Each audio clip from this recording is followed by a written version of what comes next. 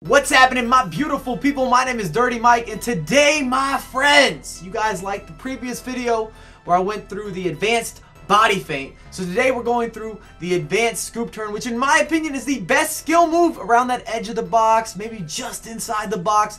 And as I showcased in the previous installment, this will be similar where I'm not telling you how to do the move, but I'm showing you different scenarios, how to set it up, what you're looking for. Basically, you're going to get the vision of me what I'm seeing when I'm on the pitch. And some of you guys might want to remake and replicate, maybe not, but that's what I'm throwing out there. If you enjoy the content and you want to see more of the advanced tutorials, whether it's skill moves, breakdown play, unlocking the midfield, which is coming soon, drop a thumbs up. That tells me everything is good money. And if you have any suggestions, ideas, feedback, other tutorials, other tips, the comments, baby. Let's make it happen. Woo! You see that? The dirty vision. And the scoop turn is basically a fake shot at a diagonal uh, with a four-star skiller. If you're stationary, if you're moving around, then you got the running scoop turn. You need a five-star skiller. We're not going to even discuss the running scoop turn. I actually find the stationary scoop turn to be more effective. Uh, and in the first uh, freeze frame here, we're on that edge of the box like I previously mentioned. And I can see the defender is cheating to the inside. So I'm going to utilize that. And whenever you see uh, a defender overplaying or trying to anticipate your turn, the scoop turn is quick enough and it's also a skill move that you can do off the bounce, kind of like a fake shot. Most skill moves you can't. And if you don't understand or you're not writing that down or doodling it just right, what I mean off the bounce, you receive a pass, the ball's still bouncing in the air, you got to take it down and, and make sure that then you can execute the skill move. You've got full control. But however, the fake shot and the and the scoop turn, they don't play by that rule, which it's a beautiful thing. We can appreciate that, but it gives it a little more versatility uh, and, and that's all I'm showing here is which way I'm going, but more importantly, why I'm scoop turning in that direction. It's because I see the defender, and this happens very quickly. Uh, but as you play more FIFA, as you go through uh, a lot of different scenarios and you see the same situations, we're always trying to fight to get in the box from the edge. All right, that's a money position, especially in high level FIFA. If you're in Division 1, if you're in the final of drafts, if you're playing FUT champs, you will find yourself constantly right around that edge of the box. People have bend but don't break defense. And and that's where you got the battle of how can you be creative and get inside the box? Am I using, you know, some pace control? Am I using a scoop turn? Am I able to run by him? Maybe a quick little tiki-taka and so forth and so on. I don't know how we got that finish. I might maybe I shouldn't have been shooting from there. I'll take it. Sometimes it's better to be lucky than good, but the setup was premium. Ben Arfa, I salute you. How you salute me? And the next example uh, I, I, just want to show you another kind of a situational, uh, and I set this up relatively well in my opinion. So we've got Gareth Bale. I call it the setup. Uh, I've turned my body. Look at this. I've turned my body to the inside, which tells my opponent, oh, he's going to come to the inside. Maybe he's looking to pass across. Maybe he's going to attack me to the inside, or he's trying to drop something back. Perfect. I'm going to go for that. And that's all part of the bait. Uh, that's what I'm trying to do here is to bait my opponent. And when I've turned my body to the inside, I'm showing you the goods, at least that's what you think, then I'm scoop turning the other direction. And it's quick, uh, and it's it's great to be manipulative. Though that didn't come out right. Manipulative. There we go. Correction. I did go to speech classes. I remember when I was a youngster, if you guys ever had issues pronunciating different words, I was part of that crew. I went to my own little special class. Not a special bus or anything like that. No. No. My mind was working great, but my mouth just couldn't catch up to what was happening here. The Mars was, oh, it was a struggle. But that's the setup. Uh, and you can use this on the sideline very well because even if he guesses correctly, maybe he recovers, you're going to get a corner kick. You're going to get a throw in. You're going to get fouled. Maybe you're going to get a penalty. It's always a good outcome, and that's what it's all about, is increasing your efficiency while still being creative. And the scoop turn is a much more creative uh, technique than the fake shot because it kind of has that swooping motion versus the fake shot that's very straightforward where you're doing the quick turn uh, and it's not as effective as it was in the previous years. I can still put together a video talking about advanced fake shots. Still has a lot of value. I still use it plenty. But the scoop turn for me, yeah, I hammered it in. The scoop turn for me gives you just so much more to go with or to go off of. Another example here. So I'm looking at the defenders and the pass that you're thinking, okay, he's got to make that pass to the inside where you're seeing your other striker. And I felt like maybe they're going to cramp that. They're going to cover that up. It looks like he's coming back, and that defender, that center back, looks like he's stepping up. And that's what I wanted to showcase. And that's why I'm turning the other way. I don't think my opponent is controlling the other center back that's on me. And that's based on seeing movement. And you can see this very quickly. And you don't need to be at a LAN event to see who your opponent is positioning, who he's moving, because if somebody's just standing in front of you, most likely it's the AI. Or maybe he's holding the contain button. Either way, you can attack that guy.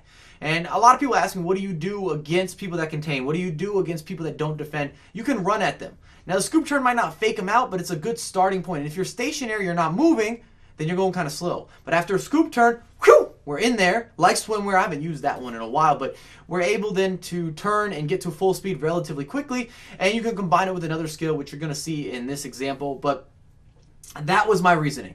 When I'm looking at, at what could be open, I just felt like he was chasing back. Now I'm taking the line. He switches to that center back. We hit him with a Berba, extra pass. It all works out. Nice little piece of shielding there. Yeah, I appreciate that. And uh, the, the, next bit of examples, I want to talk about buying options. And, buying options is where you're more so looking at using the scoop turn for hold up play to buy some additional time. Uh, and I'm going to show you what I'm looking at and why I'm scoop turning. Uh, which I think is, is very helpful because a lot of people know how to do skills but don't know how to add them into the game in an effective way. You just don't want to do skills to say you could do skills. So in this example here, hold up play. I've got the ball. I'm shielding. What's beautiful about the scoop, you can do it straight out of a shield and straight out of the face-up dribble. Whew, it's a beautiful thing. A lot of skill moves you can come out of the uh, the, the face-up dribble and go straight into skills. Uh, the shield, not as much, but this is a good combo. So I'm looking at that man, and I'm hoping that he's going to overlap. I might have another option as well. I see the second overlap behind him. Either way, after the scoop turn, I should have an open pass. And I don't know if I'm going to end up feeding the man in the middle or if I'm feeding the man out of the wing who then might, in turn, drop it back off to the man in the middle. But either way, I'm holding up the play and adding the scoop turn makes it a little more creative, gets me the angle that I need. Here we go. And if you're playing, like I said, high level FIFA, you've got to be creative. Get a very favorable bounce there. Just touches the crossbar, just touches, it's a tad bit. Uh, but I'll take it, they all count.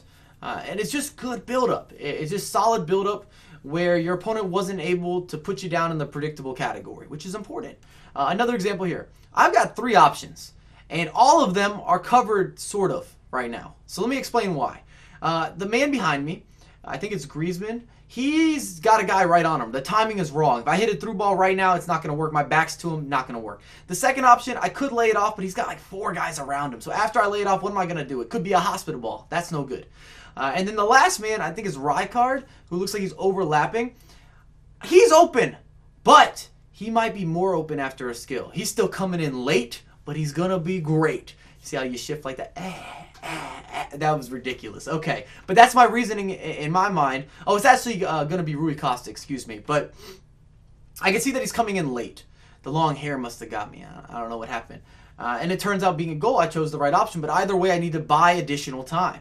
Uh, and then this is last example. Oh, it's just one of those beautiful moments, a special, special moment. That's why legends, you got to have them in your squad. Provide speed from the shield position. Remember, I talked about that. So I'm in the shield. I'm holding back. Yeah, just like this.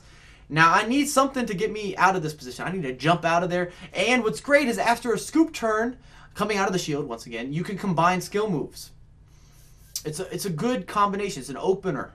Uh, and that's what you're going to see here. Rui Costa, he's holding up the play. I appreciate you, Rui. You've done a lot of great things for me. I'm actually using him in this weekend league. Uh, hopefully he performs. I haven't finished the games yet. Uh, but following the uh, the scoop turn, I'm going to go straight into the face-up drill, which allows me to get the correct angle and just... Oh, that, that's nice right there. That makes me feel a certain type of way inside. I appreciate you, Rui. Uh, had him in a lot of different teams. I also loved Bergkamp. I actually mentioned that I think Bergkamp is better than Rui Costa. Of course, it's going to cost you a little bit more. I'm not sure about this Team of the Year crash either on these high-rated players. I see people discussing things on Twitter. We're going to have SBCs to cover the, the cheaper guys. And then the high-rated players, we're still in a regional qualifier month. I think people are very interested in having the Ronaldos, having the Gareth Bales, having the legends, and so forth and so on. I don't know if we're going to see this price drop that people are trying to anticipate. And the last bit of examples is you've got to know your team, know your personnel, and there's got to be a creative way to get the ball on your strong foot or to open up a little bit of space right here on the edge of the box area once again.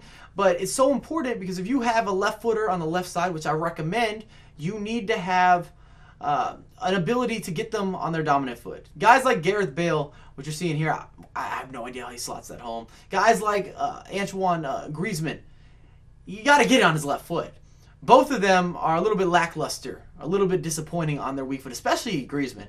Griezmann, for me, brilliant left foot. Terrible right foot, like two star. I know it says three star, but it feels like a two star in my opinion. And here's another dominant foot switch up. But just another example, very similar. Catch the ball. I'm open, open my angle. I don't want to hit that with the right foot. That's no good for me. So we're gonna whoo back over to the left, and just adding that little bit of some. Uh, it makes your opponent have to think a little bit more. Uh, and it buys you maybe a half second to get that shot or to get that angle to provide yourself an opportunity to score more goals and to have that creativity.